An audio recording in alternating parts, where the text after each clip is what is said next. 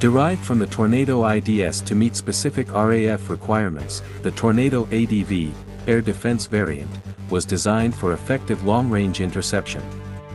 Its key enhancements included the incorporation of the Foxhunter radar and an elongated fuselage to accommodate semi-recessed Sky Flash air-to-air missiles.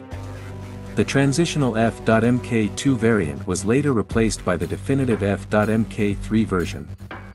Starting in 1986, the RAF began receiving the initial batch of 152 production F.Mk3s, which underwent subsequent updates over time.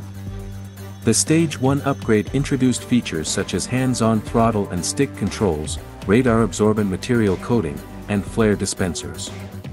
The Stage 2 enhancement further improved the computer systems and radar imagery, incorporating the Joint Tactical Information Data Link. Although the highly anticipated Eurofighter Typhoon was initially intended to replace the F.Mk3, the RAF took an interim approach by enhancing 100F. Mk3s through the Capability Sustainment Program, CSP. This upgrade involved integrating AIM-120 AMRAAM and ASRAAM capabilities, albeit without fully exploiting the potential of these weapons due to limitations in digital avionics and helmet-mounted sights. The CSP also brought a multi-target engagement capability for the radar and enhanced defensive aids. The Common Operational Value, COV, modification included structural adjustments, a night vision goggles compatible cockpit with new displays, GPS, and secure have-quick radios. The first aircraft with CSP-COV modifications were returned to RAF units in 2000.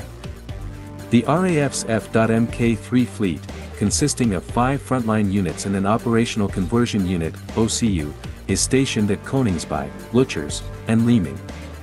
Saudi Arabia acquired 24 new F.Mk3s, while Italy leased 24 upgraded ex-RAF F.Mk3s starting in 1995 as interim fighters until their Eurofighter Typhoons became operational. The Tornado ADVs saw action in combat alongside these three nations, participating in conflicts such as Desert Storm, engagements in the former Yugoslavia, and other NATO peacekeeping missions. The introduction of operational Eurofighters into the RAF's inventory in 2005 led to surplus Tornado F.Mk3s being repurposed for various combat support roles. Although these airframes may require additional structural modifications, they could potentially be equipped with radar targeting avionics and ALARM anti-radar weapons to address a recognized deficiency in NATO's defense suppression capabilities.